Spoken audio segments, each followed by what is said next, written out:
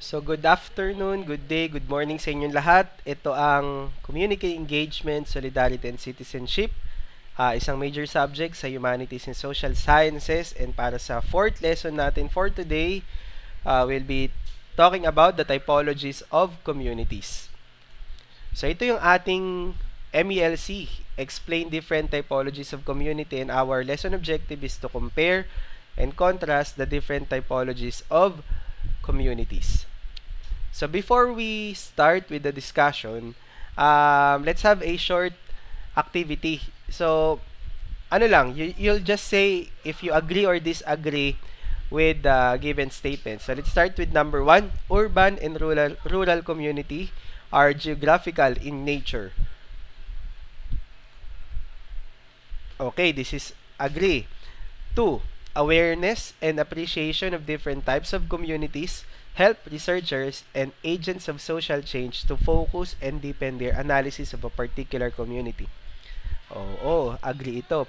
And last, it is possible to have all types of communities present in one geographical community. Siguro yung iba sa inyo mag-agree pero yung iba sa inyo magdi-disagree. So, as we go along, uh, the concepts being given here will be uh, discussed or shared sa mga susunod na uh, slides or succeeding part ng video natin. So, another activity muna ulit. Uh, kahit sa simpleng notebook or papel na meron kayo dyan, you just type the similarities or you just write the similarities and differences of the two pictures. So, the first picture here, so ano-ano ba yung pwede nating ma-observe dyan? So, merong mga uh, farm, may farmlands, may mga hayop, may mga bahay na layo-layo, may space, and what else?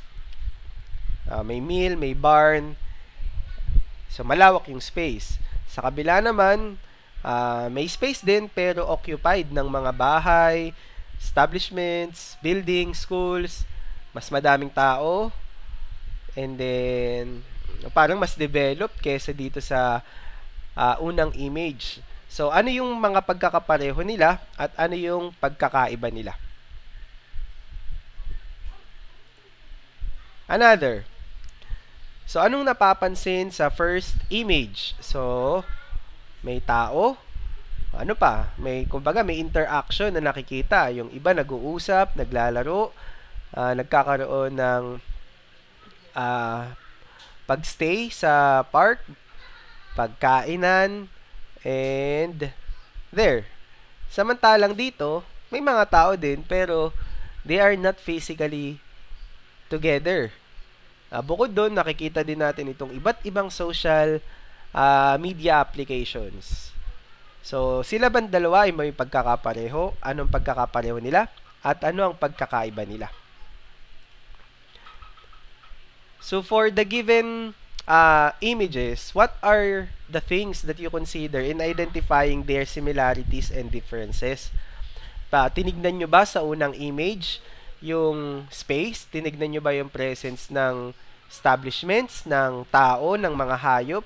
At sa pangalawang set of images, tinignan nyo ba yung um, presence physically at absence ng physical interaction may interaction ba sa parehong image?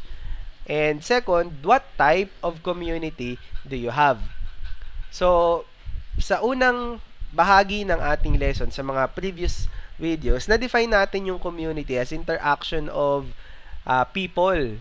Ano, pero mayroon palang iba't ibang uri ng community na sa kasalukuyan, tayo mismong tao, we are uh, being enclosed and under to those types of communities. So let's start with the first classification, which is rural and urban. So this classification is basically based on geograph geography. Ibig sabihin, yung uri ng uh, space at ng lugar kung saan nandun yung uh, mga naninirahan dito or yung uh, uri ng establishments na meron na nakatayo sa specific na lugar. So, based geogra in geography. So, rural areas are separate and away from the influence of large cities and towns. It is known as the countryside, farmland, or agricultural land. So if you go back to the picture uh, presented a while ago, makikita ninyo na yung unang picture, yun yung nagre-represent sa, sa rural.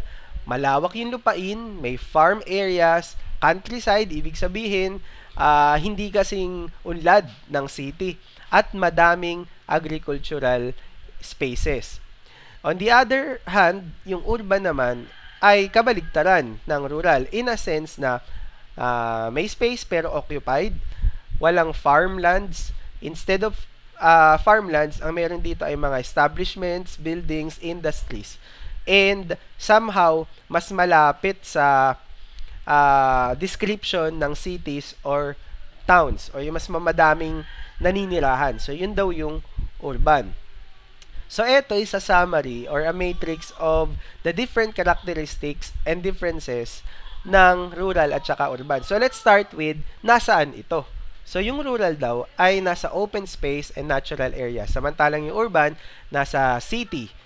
And, uh, um, kokonti yung area na kung saan pwedeng magtanim or pwedeng uh, gamitin ng tao for agricultural spaces.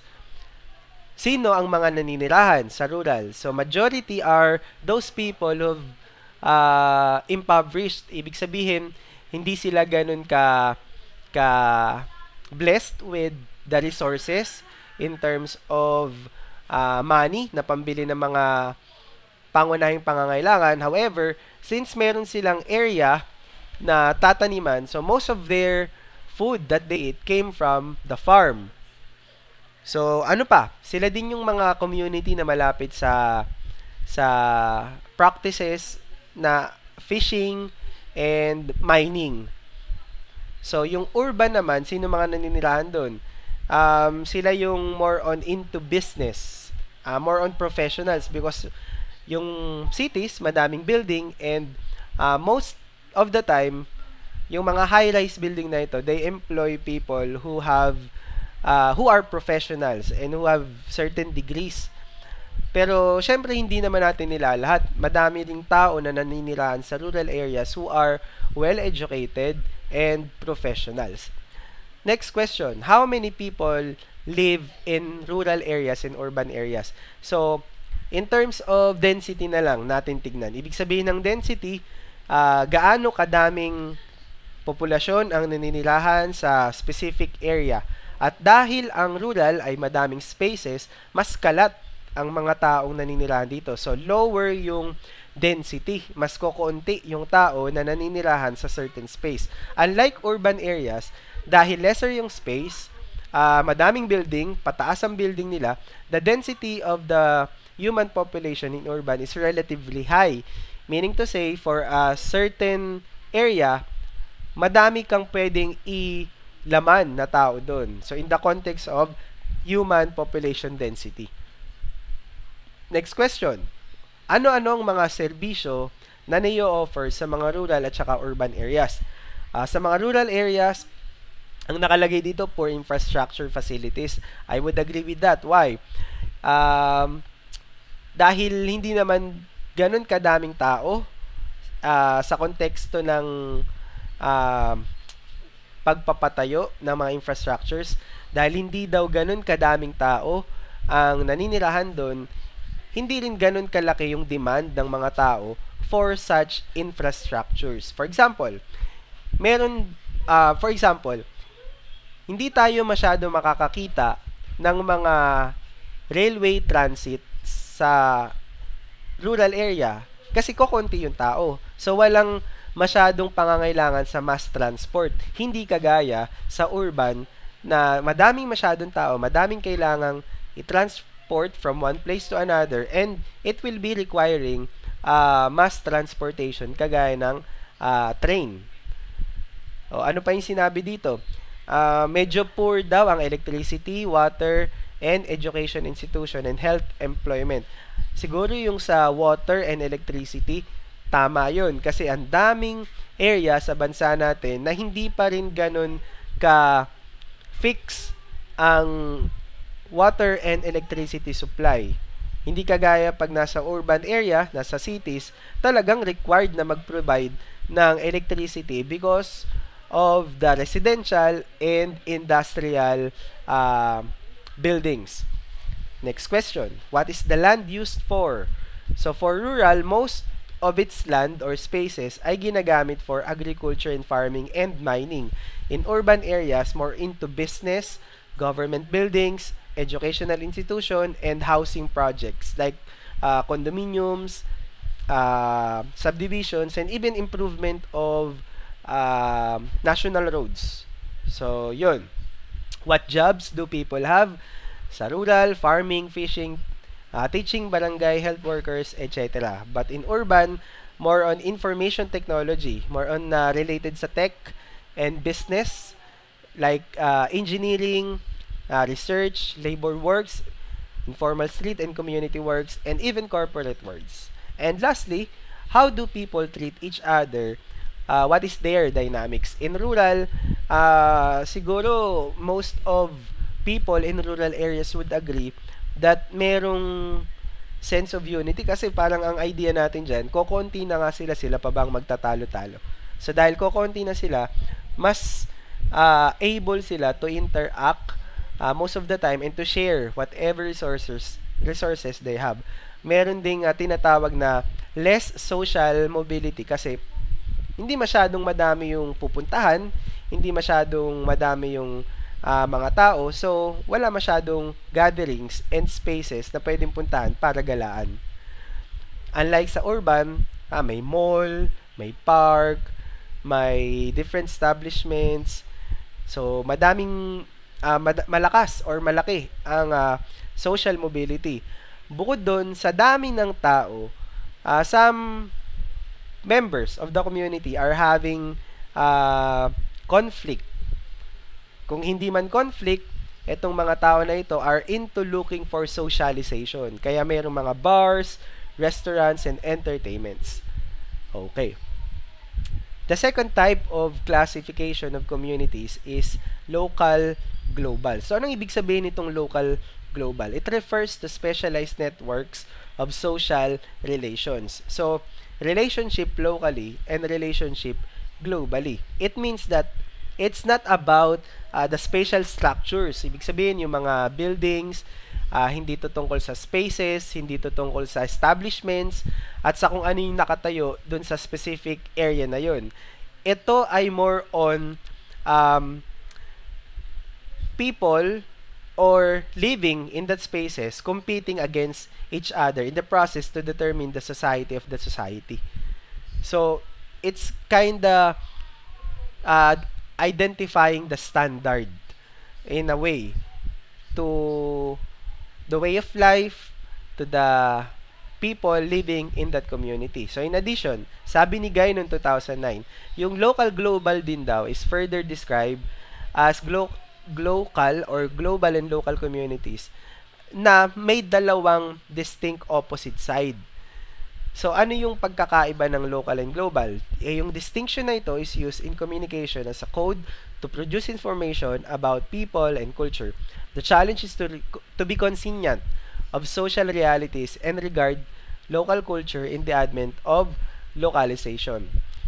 Think globally, act locally. Presses people to consider the situation of the entire planet and to take action locally in their communities. So, apart from the setting of which society becomes the society or the standard, it's also about um, considering the situation of the whole world whilst looking or thinking locally. So, kumbaga, we have the standards, yung mga, sabihin natin, mga advanced countries we have the standards. So that's one. We have the standards about, let's say, in the environment.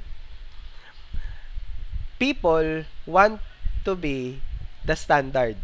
Parang yung mga nasa baba, nasa laylayan, or nasa mababang uri ng, uh, or pwede nating sabihin, yung mga mahihirap na community, it always strive, strives hard to become the standard para umangat yung quality ng mga naninirahan dito. So that's thinking globally. However, while doing so, while doing so, nakakalimutan yung responsibility locally at mas naapektuhan yung mga mas nahihirapan. So, in that context, pwede nating ilagay yung relationship ng local at saka global. Another thing na nabanggit ko kanina, environment. Merong um, Paris Convention na ginawa. Ano itong Paris Convention na ito? Ito ay target ng buong mundo na ibaba ang carbon emission ng mundo to a point na irreversible na yung damage na pwedeng i-cause sa ating mundo. Ibig sabihin, pag hindi daw natin na-reach yung pagkakasundo ng buong mundo, so global, na ibaba ang carbon dioxide emission at tumaas ang average temperature ng mundo, this temperature is enough to melt all the remaining ice caps in the world. So that's a global issue. But ang nakalimutan sa convention na to is going back to the local. Why? Paano ko nasabi? Ang ating bansa in terms of the foot uh, carbon footprint uh, emission, napakababa lang compared sa mga mayayamang bansa kagaya ng China, US, Japan, at mga bansa sa uh, Europe. So sila, malakas ang kanilang carbon emission. So umunlad sila, one, pero yung effect na binigay ng kanilang bansa sa mundo ay napakalaki din. Now, they wanna, uh, this convention, the Paris Convention, wants everyone to limit the carbon emission. Eh, ang ating bansa ay nagsisimula pa lang sa pagtatayo nitong mga coal power plant na kung saan magkakaroon tayo ng mas carbon emission para mas umunlad yung ating bansa. So, ibig bang sabihin na konti na nga yung carbon emission natin, hindi pa tayo mag strive to be, you know, the standard in terms of the way of life. So, hindi kagaya ng mga mayamang bansa, mayaman na sila, So, yung carbon emission pa nila, sobrang laki. So, that's one consideration for local and global. So, the standard. So, this really challenges uh, the whole community worldwide to be inconvenient of the social realities. Hindi lang sa kultura, kundi sa madami pang issue, gaya nga ng nabigay ko kanina about the environment. The third classification of community is physical space, virtual space. Ito namang uri na ito ay hindi naman sobrang tagal na. Nag-start lang ito nang nagkaroon tayo ng uh, virtual technology. Yung pagkakaroon ng cellphone, ng uh, FaceTime, na kung saan nakakapag-interact na ang mga tao even if they are not physically present with each other. So it's a social space either physically or virtually like an online social media or a center or gathering place where people interact. So pag sinabi nating physical space, ito ay tumutukoy sa three-dimensional nakikilusan physically at ang virtual social space naman ay yung mga uh, in the internet. So non-physical, non non-tangible spaces created by the development of technology. Okay. Uh, itong type of community na ito ay sobrang obvious sa kasalukuyan na tayo ay nasa panahon ng pandemic, especially in in this education. Kita nyo naman, no? Uh, imbes na nasa classroom tayo ngayon, nandito tayo ngayon sa virtual space para matutunan ng mga bagay na gusto nating i-share sa mga bata at pakinggan ng mga mag-aaral. Okay, in connection to the classification of communities, mayroong dinagdag si Pramila Agarwal na types of communities. So, yung una is geographic community or the neighborhood. As the word implies, it is more of the space. It's focused on the physical boundaries that make it distinct or separate, such as a river or a street. It has a diverse population with individuals or groups occupying different physical spaces and each with special attributes such as religion, economic status. So, hindi lang siya tungkol sa space but also it goes a little deeper into the social interaction of the people living in that community. The second is community of identity. Ito mas malalim yung ibig sabihin niya pero related pa rin sa geographic community. So if people are living in a specific community, they are identified based on their identity. Like in culture.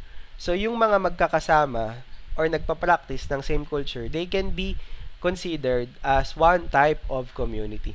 Yung mga tao na nagsasalita ng pare-parehong lingwahe o wika, That's also one type of community based on identity.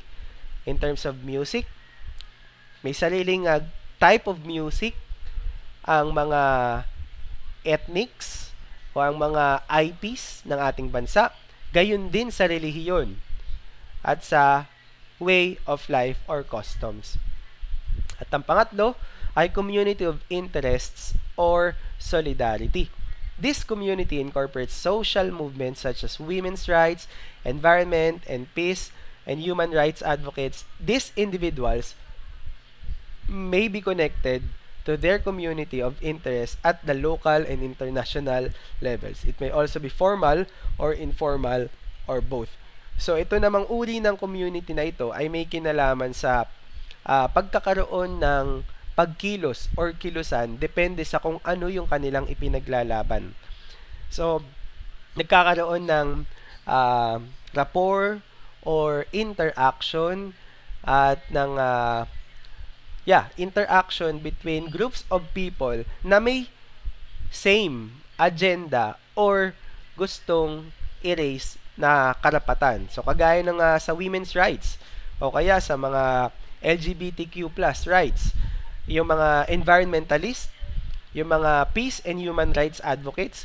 So sa ating bansa, napaka malaya ng ating bansa sa mga gantong usapin. Tayo ay napaka democratic sa pag-express ng ating mga nararamdaman. At sa ngayon, talagang ang ating bansa ang tinatawag na uh, keyboard warriors ng mundo. Dahil tumingin ka lang sa Facebook, isang issue lang, ang dami nang magsasalita parang lahat by expert. Pero, minsan, pwede natin tignan yon sa context na nag-express lang ang tao at karapatan ng tao na express ang kanyang opinion, hiningi man o hindi, ng iba dahil yun ay binibigay ng ating saligang batas. Ang ikaapat na type of community is international community. This community refers to individuals that came together voluntarily and support each other. Members may share the same interests and identity or geographical location. So, uh, this go this goes beyond the local concern. Parang itong mga uri ng tao na ito or community na ito, uh, they try to address global issues.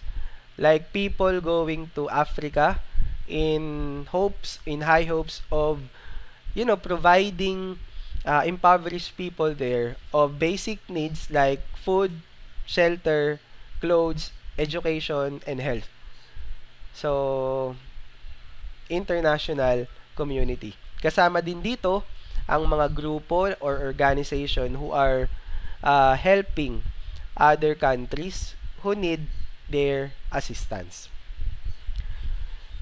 So, bago ko tapusin yung ating discussion, ito ay para sa aking mga mag-aaral, aking mga estudyante. I want you to reflect on this question, to, into this question. What does think globally and act locally mean?